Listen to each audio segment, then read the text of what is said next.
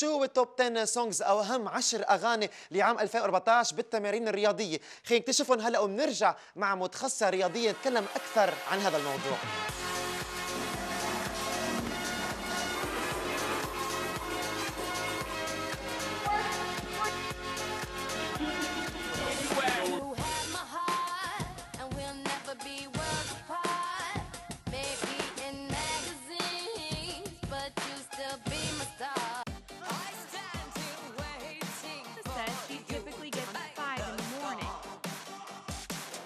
دائما أستمع إلى موسيقى بقاع عال عادة أغاني من توقيع بيتبول أو أغاني شبيهة لها تتضمن إيقاعا تساعدك على كثرة الحركة.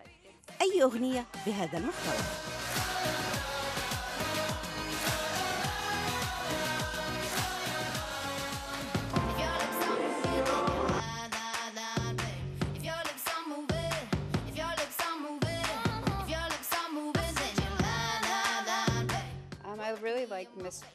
دائما أحب أن أستمع إلى أغنية ويفز الماستر براز أحب هكذا نوع من الموسيقى لأنها تحتوي على ضربات إيقاعية تلائم تمارين الرياضية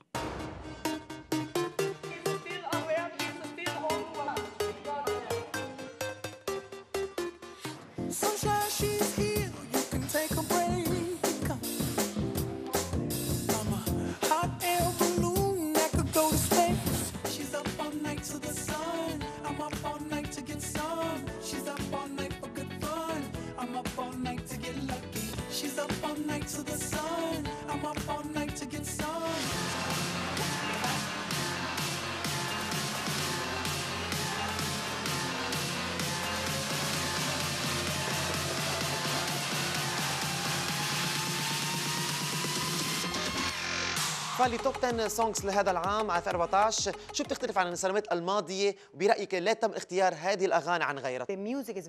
الموسيقى مهمة جدا تتشكل كالتالي.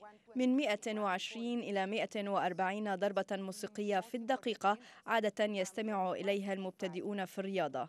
من 165 إلى 168 ضربة موسيقية في الدقيقة يستمع إليها رياضيون متقدمون في مستوى التمارين الرياضية.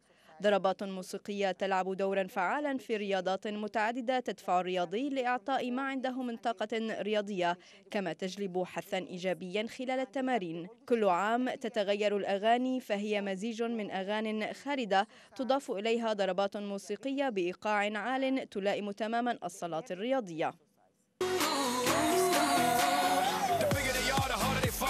This boys, a diggity dog.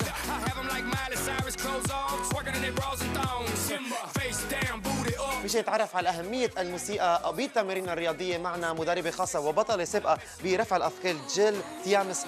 Music, how much is important in our uh, routine uh, workout? الموسيقى هي كل شيء في الرياضة بشكل عام. هي دافع الصحي الوحيد لزيادة النشاط وتلعب دورا نفسيا إيجابيا في معنويات الرياضي لإكمال التمارين الرياضية.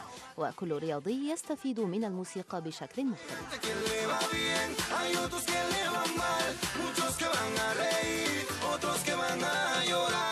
لاحظنا بلائحة الأغاني أنه في عندنا موسيقى جديدة وموسيقى قديمة.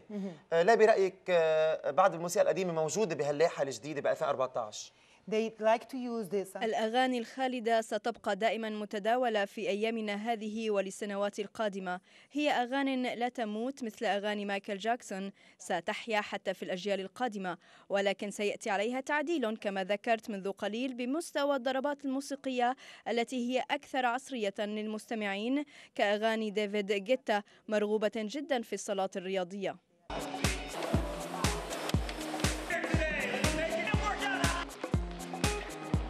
عام 2014 سيطرت على القاعات الرياضية الأغاني بإيقاع العالي. عم نحكي مثل أغاني لبيتبول house on fire shot me down لديفيد جيتا وطبعا الأغنية الشهيرة happy لفارل ويليامز هذه الأغاني بإيقاع العالي ساهمت بإعطاء الرياضيين النشاط اللازم بإكمال تمارينهم الرياضية اليومية.